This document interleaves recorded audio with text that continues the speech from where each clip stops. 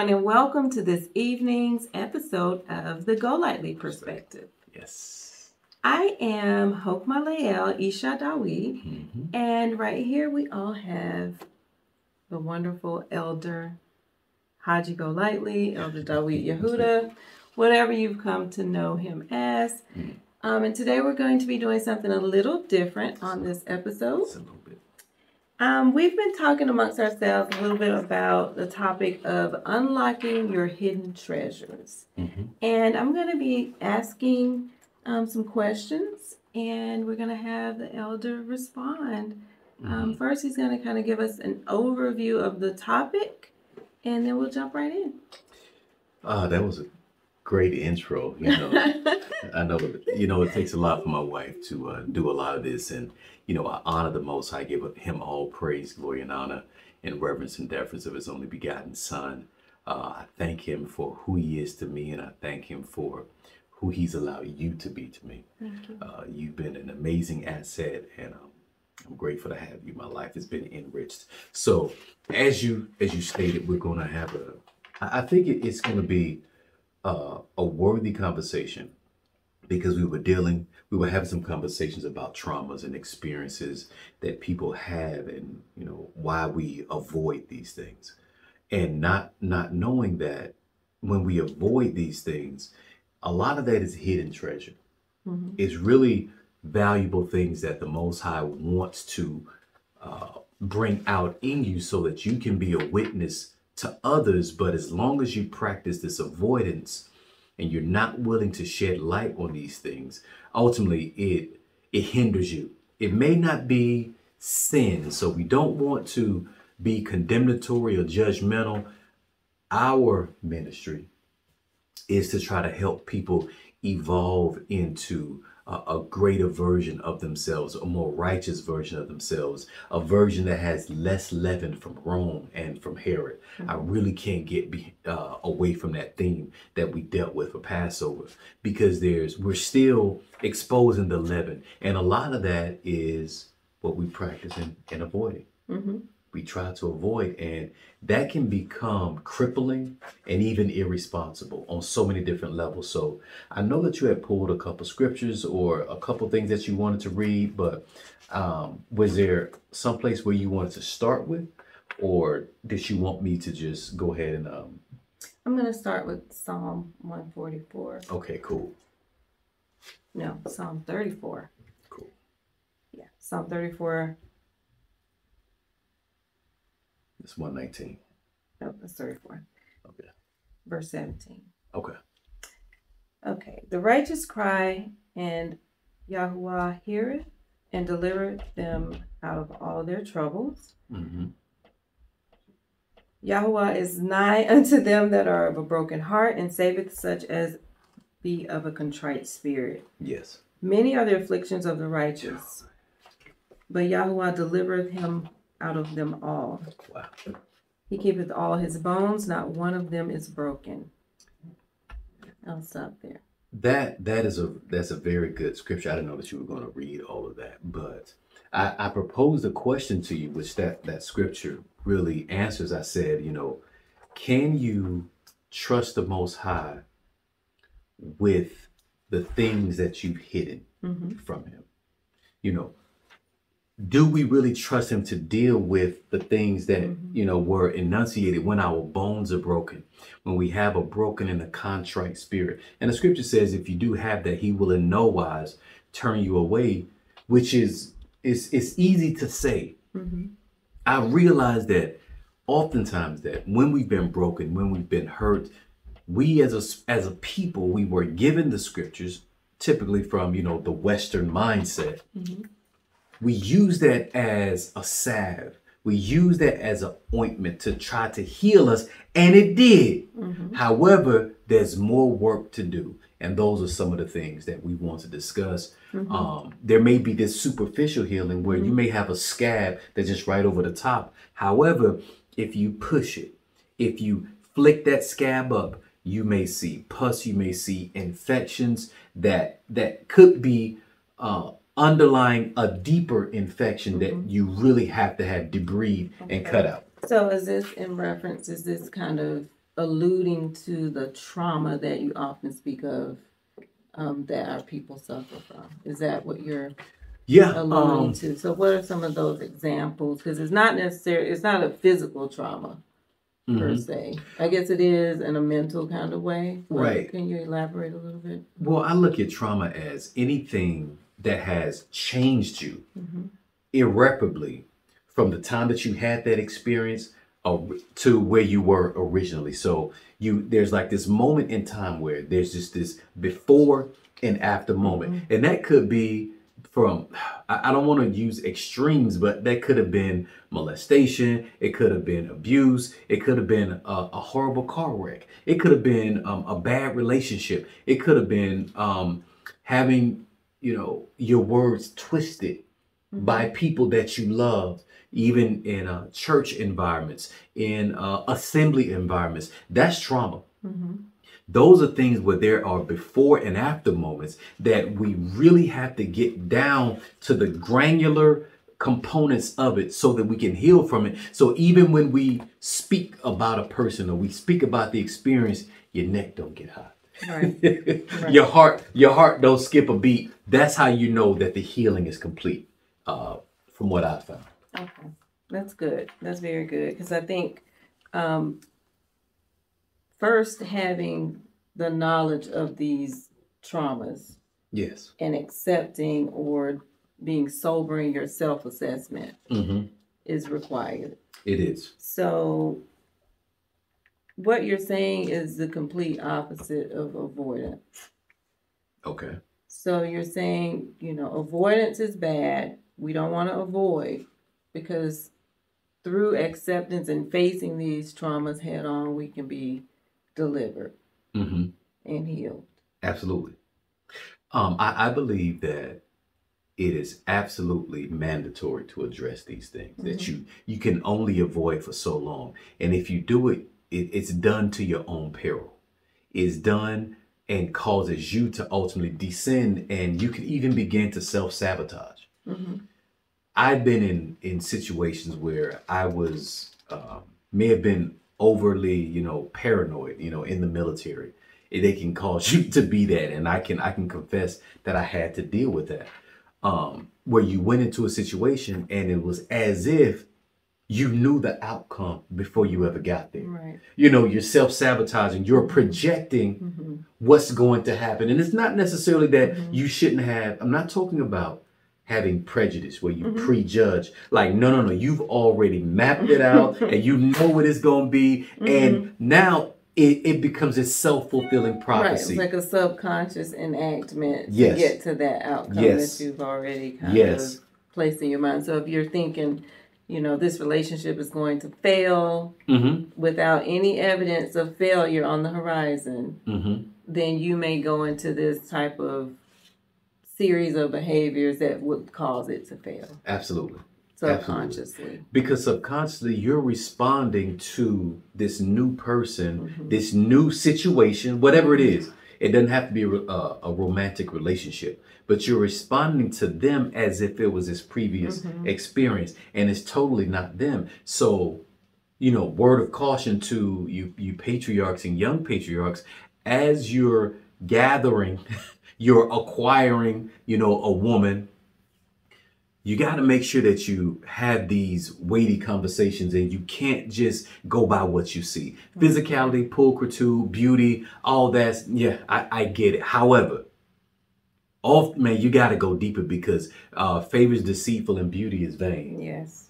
But, you know, a woman that fears Yah, she is the one that should be praised. And if she has feared Yah properly, maybe she has been able to maintain herself to prevent so many traumas, uh, so many things that uh, would, would prevent her from becoming one with you. Right. That's good. That is important. And I think um, that's why you have to depart from the world when making these decisions. Yes. Because the world will tell you totally what you, you're saying is not Yeah. important. Yeah. What metric are you using? Right. That what requ- what criteria are you using to validate whether or not someone would be a good spouse outside of what you see?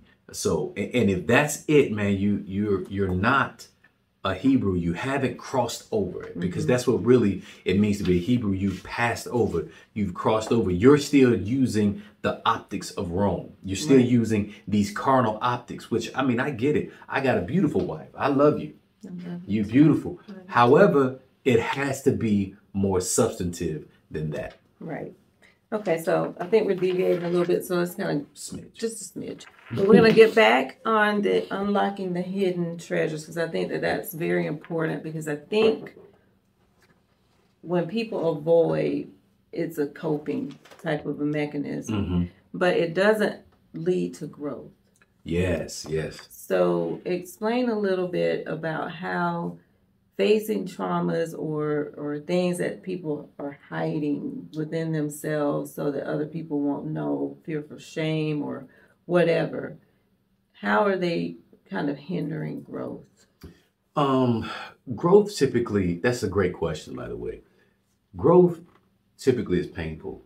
Um mm-hmm. we you know i was a young man and you know when you start to grow you hit your growth spurt it can be painful you can have cramping, you can have all, all types of complications that are associated with the growth process. And I would say that if you're watching us, then the Father has blessed you with the gift of, of curiosity, mm-hmm. of being intrigued by the things that may be preventing you from truly ascending. Because that's what we want. We want to ascend. We want to be more like Him. However, if we remain as we are, or cast doubt on who Yah is by saying that he made us a certain way um, that is not like his character, then we will ultimately stay where we are. We'll kind of plateau. And I I'm of the, the, the thought of the mindset that these things really are hidden treasures. Mm-hmm. That and that's what I, you know, kind of start with that if you begin to dig, and I believe that you should have someone that can help you dig. Mm-hmm. That can help you on this this guided exposure, mm-hmm. where it's in a uh, somewhat of a controlled environment where um, the, where you don't where let's let me let me say it another way. The mind that experienced the trauma may not be the same mind that can heal the trauma. Mm-hmm.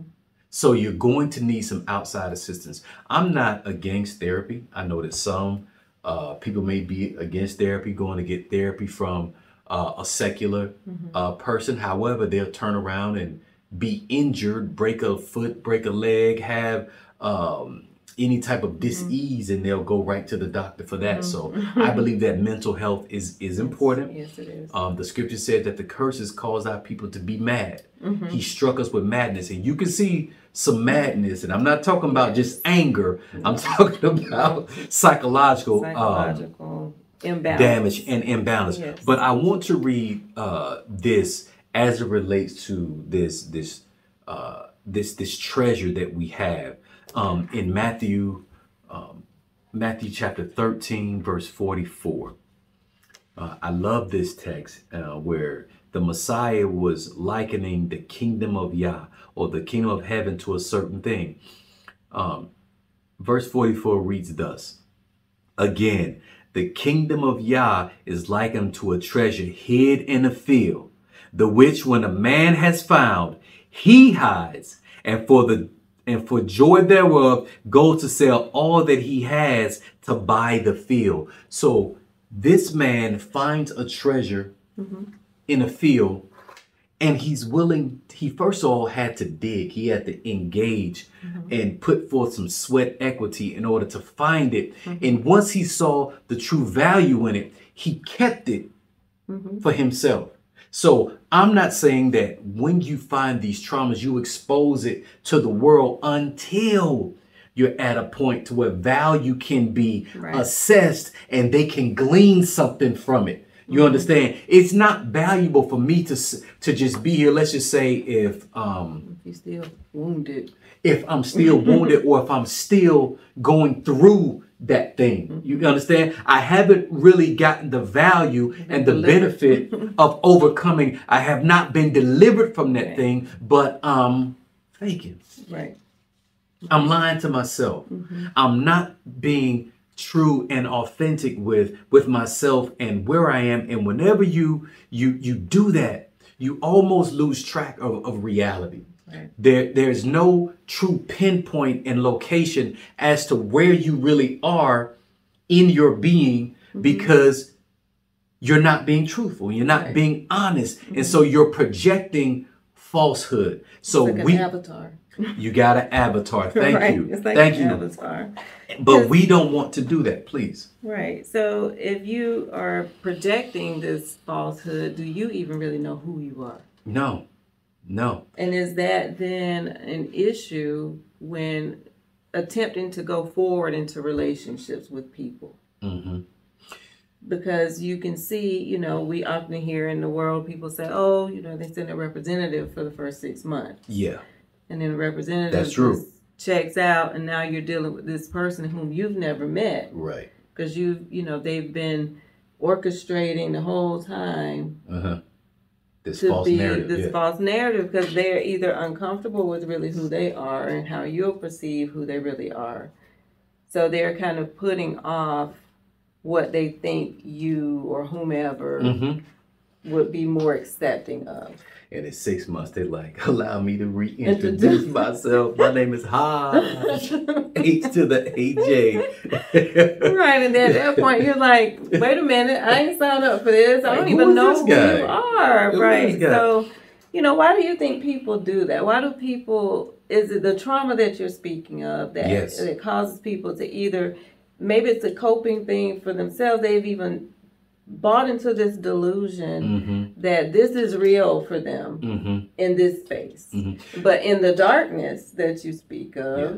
that's when The truth can come out. the out. truth comes out, and then they- have this duality going on. Yes, yes. So Um, that that delusional piece is is rife in the culture. mhm. Um, it's actually quintessential um, for people to to exist because they're so disconnected from who they really are. Mhm. See, we really haven't had, you know, as as you know, Muslims would say, you know, you don't have that knowledge of self, and that that goes deeper than just points of identity. I'm talking about you.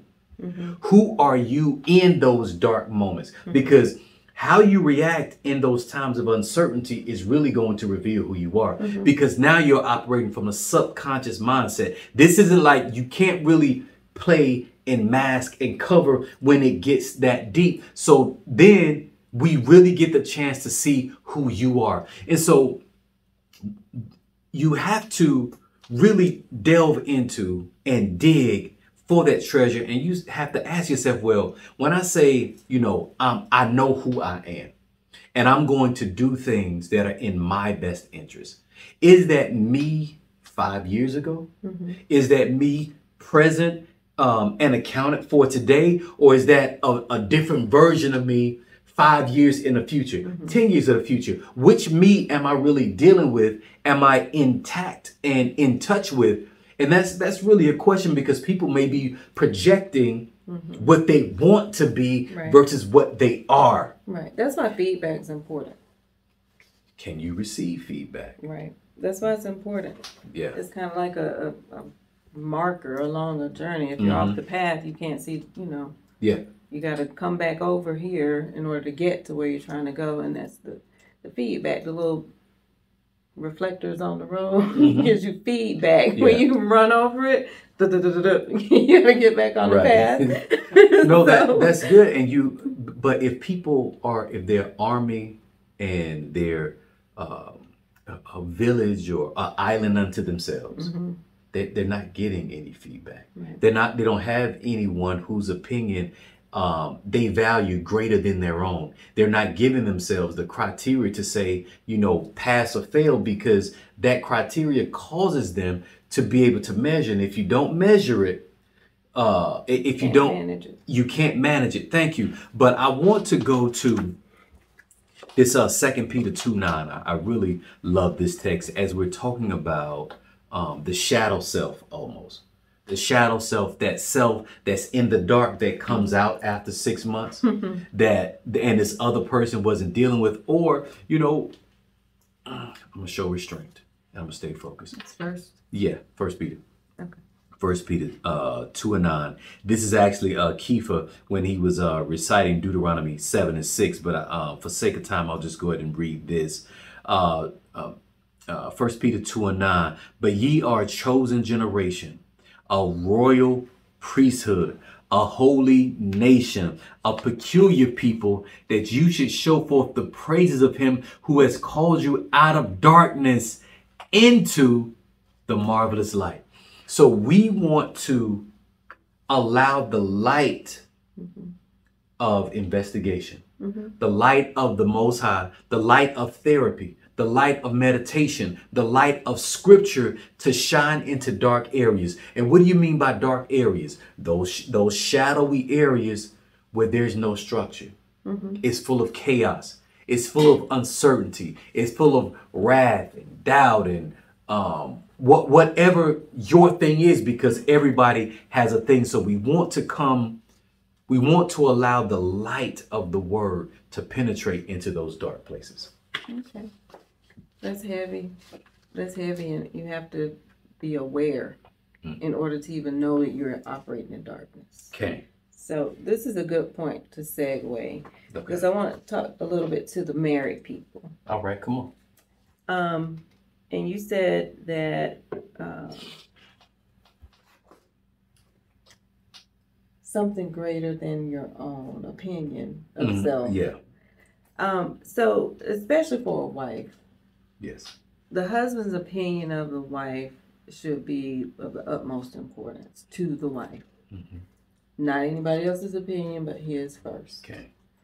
Um, so, when it comes to women in particular, I often will hear how um, women complain about not being happy. Okay. Or the man isn't doing this or he's not doing that. Therefore, I shouldn't have to do X, Y, Z. Mm-hmm. Um, so, what do you think as far as those hidden things in women?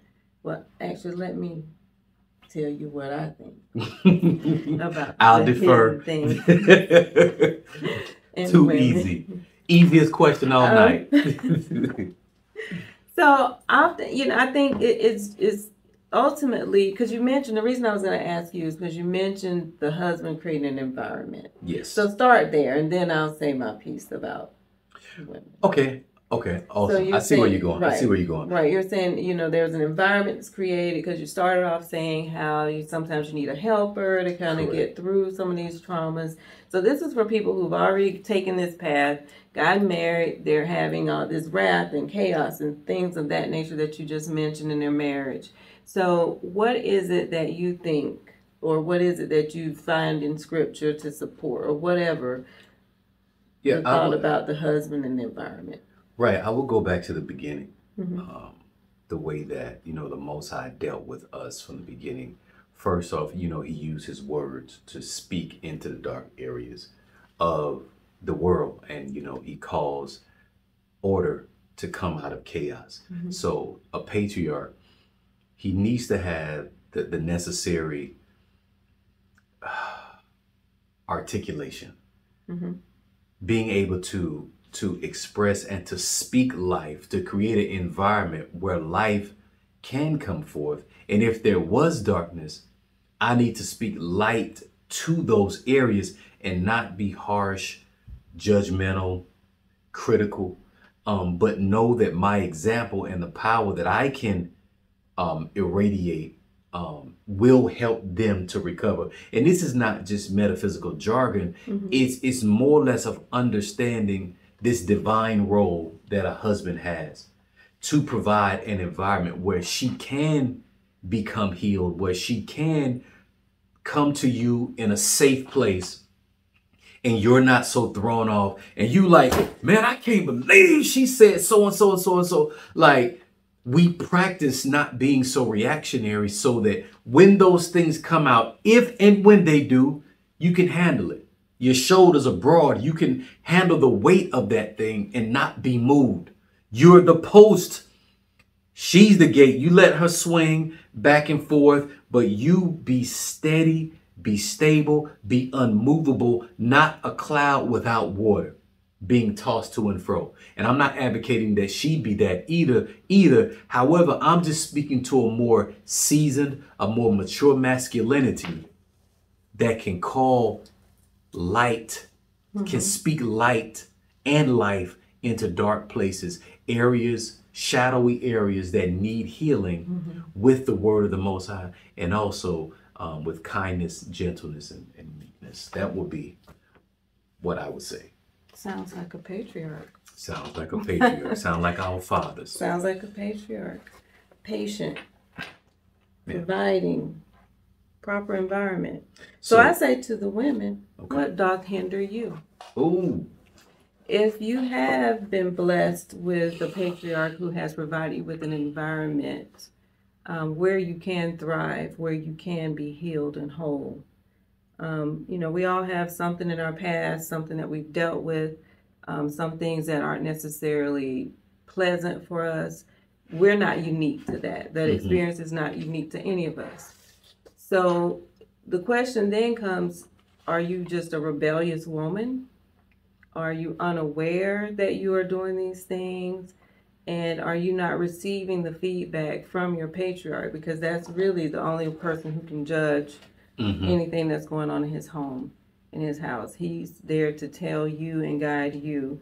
You're not there to be resistant and hold on to your past hurts and traumas and pains as an excuse to remain where you are. Mm. Now, let's just say, let me give you a scenario. If a woman has been, has dealt with manipulation in the past, and now where she's, she's been manipulated. Yeah, she's been manipulated mm-hmm. in the past, and now she's looking at this environment as an environment that you know she she's judging it mm-hmm. because I know that he's ultimately going to try to do what did what happened back here. So she really can't receive it. So she's judging it you know, so you said that this patriarch provided an environment but she's still pushing back saying that environment is inadequate. It's inadequate. Well she needs to let go of that previous pain. Okay. Because it's unfair. I mean, I know it's not a, no cotton candy around or anything, but it's just not right for her to hold on to a previous point, data point, mm-hmm. and apply it to this scenario. Mm-hmm. And it's it's the natural thing to do. I'm not saying that people don't do it every day. They can say, "Oh, it's historical context," but it's not historical context with this current patriarch. Correct. It's in your history, but it's not a history that you share with him. So at that point, it is not appropriate.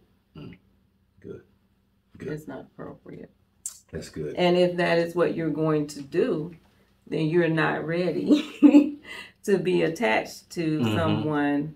Um, because no matter what the environment is, if the woman has made up her mind to hold on to that data point, yeah, to reflect back, to hold that over someone's head and oh, holding it over someone's head who's not even responsible for it. Mm-hmm. It's just not right. Yeah, it's not. Yeah, and they and and they almost you know require them to perform in that way. They require them to respond to expectations that they haven't even communicated. Right. They they expect because of these traumas, these things that they've hidden. It so these traumas come in. They're they're they're silent, mm-hmm. but they're not voiceless. Mm-hmm. They're they may be quiet, and if you have ears to hear, you can hear some of those things. You know, as as a you know as a man, you know you can hear it. I can hear it. I can see it. Mm-hmm. Oftentimes, in a way, you know, people present. This is it, it's it's so. This is a wonderful example. Okay. I remember we were at the other house and the exterminator came and I kept saying, Why do I keep seeing all these spiders? Can you spray for these spiders? Mm-hmm. And he was like, Well, the best thing to do is, and he took out a flashlight and he flashed up in a dark corner and mm-hmm. there mm. were cobwebs. Mm-hmm. And it was a high corner. And he said, You gotta get rid of where they live. Mm. So he shined in the darkness and saw the problem. Yes, very good. And he said, Just get a broom, you know. deal with it, knock hit, it down. Hit the corner, knock it down. you got to take the food source out, get rid of it. Yes. You know, knock it down, take away their house or whatever. So that's just what made you know my brain went there because here I am thinking the house is clean, and this man comes in and shines in this dark corner that we don't Yeah. really ever go in. It's all these cobwebs, so that's my problem. Yeah. It's in the darkness. Yes. So it had to come to the light in order for me to deal with it. there you go. That's a So- working example. Right. So to get us back to the whole topic of um, unlocking the hidden treasure. hmm This, this, and so this, this is what we're doing. We're Well, the, unlocking. the, the the treasure though, the treasure. It sounds like we're talking about trauma, but but the treasure going- is the trauma. right going through the healing process. Yes, yes. That's the journey that we have to go on in order to become more divine, Mm-hmm. more like the Most High, to shed the inconsistencies, the inadequacies, the, the historical things that we have experienced that kind of made us us. Mm-hmm. So we have to leave those things behind and continue to press toward the mark Mm-hmm. for the prize of the high calling of Yah through Hamashiach. We're pressing toward those things. And so it's not just in the outcome, It's a journey. it's in the strength to strive. That's where the blessing lies. That's where the treasure is, is you doing the homework, you really doing the work, trying to exhume these things, bring it up.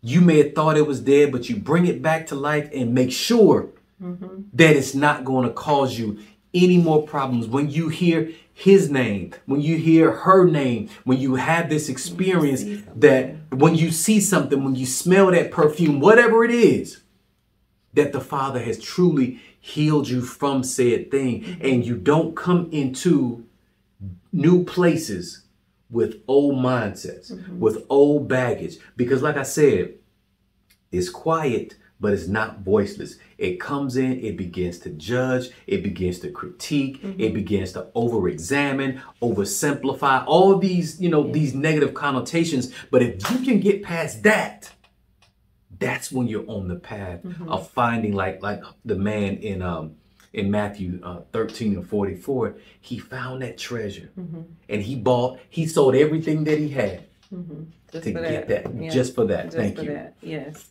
And that's that's powerful because most of the, the healing, you know, people pray, oh, I want to be more patient. I want to be more Mm. loving. I want to be more. So that's then the test has got has to come in order for you to To validate that you're more patient to get there. And people, you know, old people would say, don't be careful what you pray for, you know, so you may not be ready for it. But um, in dealing with the marriage specifically, um, a lot of those things require the self work.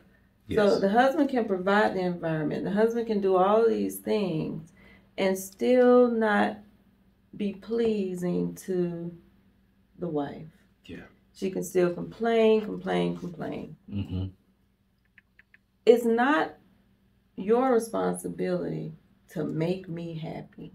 Yes. It's not your responsibility to do my work. I have to do my work because it is my test. No more you can go sit and take my um, entry to medical school test. You can't do any No. test that I have to pass. I have to pass the test, so I therefore have to do the work. Mhm. And that's any person, any wife, any child, any person that's hoping or looking to overcome something. You have to dig in, figure out the problem, and seek ways to fix it. Yes. Now, the husband will help if, you know, if it's not something that you, you can't just be garnering all this attention all the time, Right. feigning all kinds of problems just Sickness. to get attention. Uh, I got a headache. Um, it's this. Is that? Is right. um, There's re- this overlapping. You know, Right. redundant things Right. that come up for that's attention-seeking behavior. That's that's Right. not good either. Right. Your husband wants you to, you know, he said some, give you some correction because you didn't cook something or you didn't clean. Now all of a sudden you're you sick and need to go to the ER. Yeah. You know, every time, oh my back hurts. It's Yeah. it's just The way you spoke to me reminded me of my daddy. you know this and that. so. Right. So, So, you can't use that. And men, you have to just call out call it out. this this when when this happens. That's manipulation. You have to be stern, and you know the scripture says that witchcraft won't work against a son of the Most High Yah, but you can't allow it either. Mm-mm. You can't have these false balances. And when you allow it, it, it doesn't help them.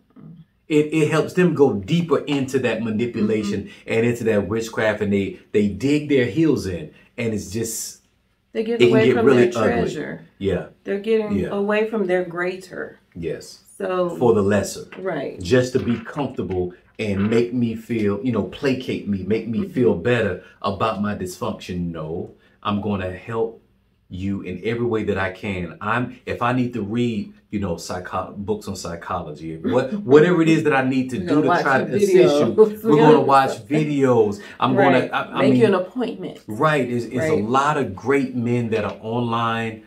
Um, that are giving great information to help you know with relationships. Mm-hmm. She don't have to know what you're watching. Maybe you should watch a little less, you know, doctrinal things if you know you've practiced the Israelite tradition, maybe a few less, mm-hmm. you know, doctrinal things and start looking into some psychological things that can help you to help your wife. Right. That can help you to see beyond some of the nonsense or talk to someone that's been seasoned mm-hmm. um, and that can help you navigate some of this terrain because we need these spiritual maps. We need these natural maps, and maps are only tools and instruments that help to reveal the unknown mm-hmm. based on the, in, in a specific territory. It can reveal um, the distance that you're going to have to go. It can reveal the time that you have to go. It can reveal the topography. What do we mean by the topography? You need to know, bro. It's a river. It's a river right here. it's a mountain. It's a you got to go over a mountain. right. You know, it, right. you getting ready to go through the desert and you've packed your winter clothes. Right you got to read that map better. So these are the things, these are the tools that a patriarch, that a husband needs in his arsenal and his repertoire to be able to assist his family mm-hmm. to become more divine mm-hmm. and to be in the image and the likeness of, you know, true oneness, what Adam and Hawa, Abraham, Sarah, or the apparatus, as we say, Jacob, um, Leah, Rachel. I, I, put Leah. I put Mama Leah first. I did. Leah, Rachel, Bilhah, and Zilpah. So um, that would be my admonition, family. I want to read one other text because I don't want this to be um, the conclusion of your relationship. I don't. I want us. I truly want us to be better, mm-hmm. and it starts with family. It starts in a relationship.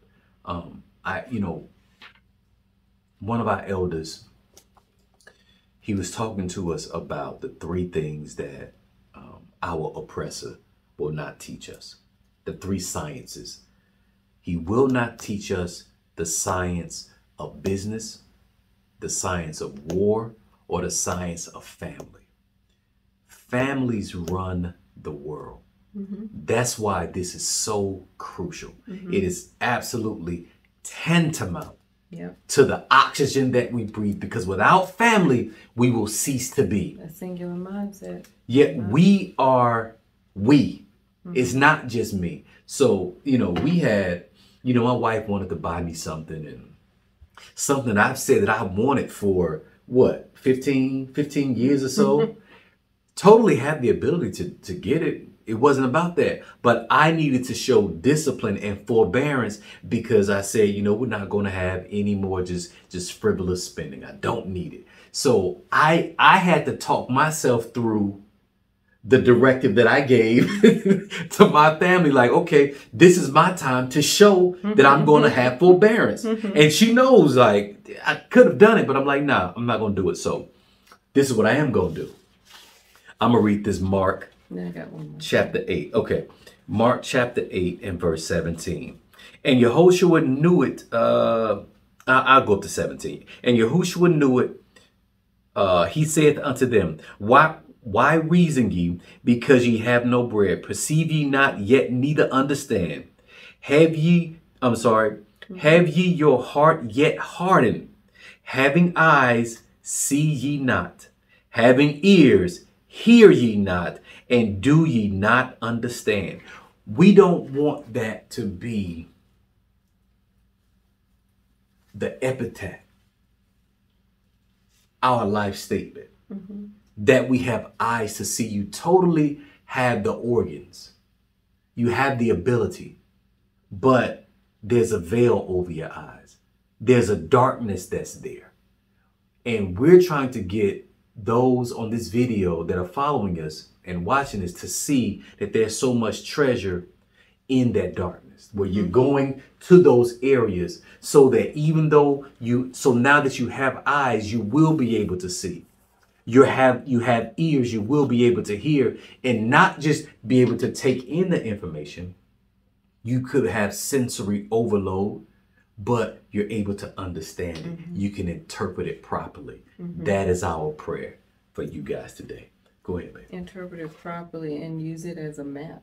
and apply it and use it as a use map it as yes a map to get to the work that needs to be done. okay Um, something else came to mind. It came up when we were talking earlier, and it was the um, avoidance of those hidden things, those things that you know cause unpleasantness for us, Mhm. and it's the um, lack of wanting to be uncomfortable. yeah We don't like discomfort. Mhm. So instead of facing things, uh, we tend to push it aside, avoid it, sidestep it, duck under it, jump over it, close the door, and do whatever we have to do to not face it head on. yeah Um, so then there comes a time where, as an adult who really wants to get to these treasures, who wants to have the glory in life that we read about, we Mhm. want to have, you know, the blessings that come from obedience and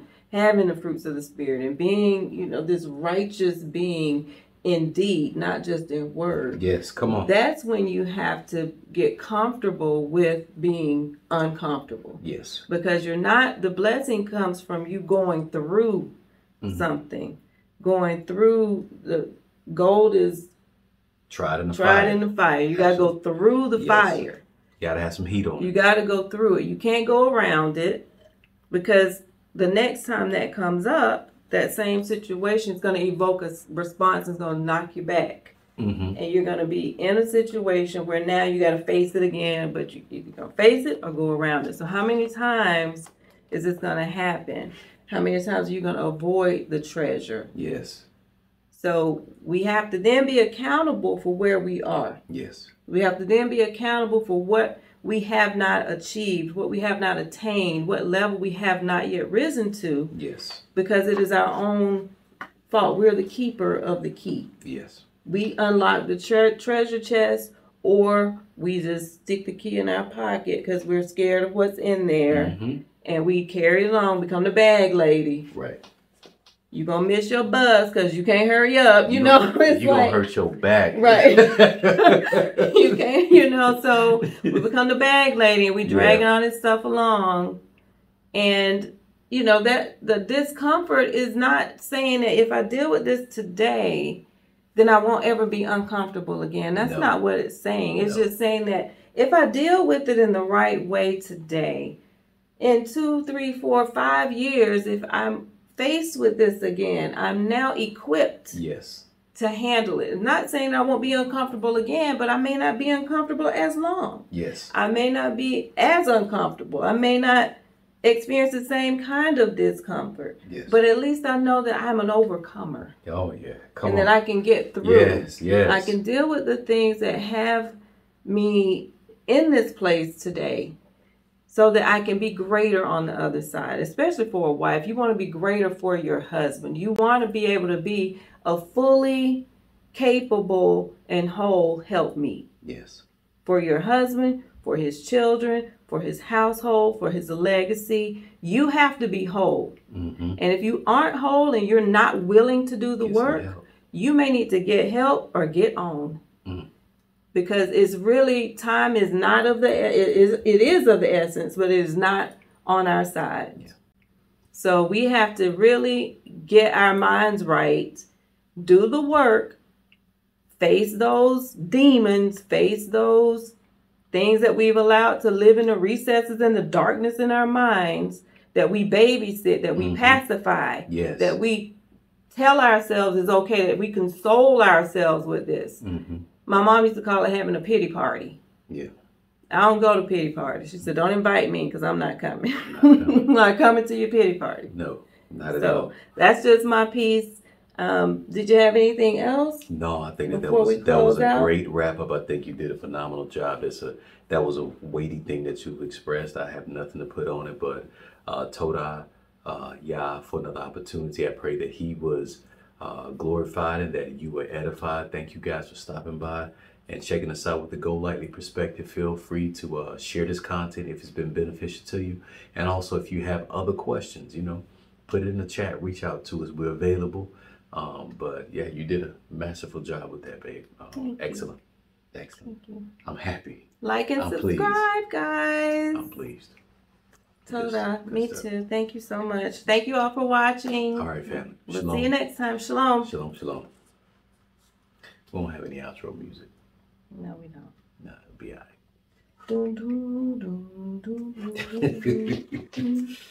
Till next time. Good job.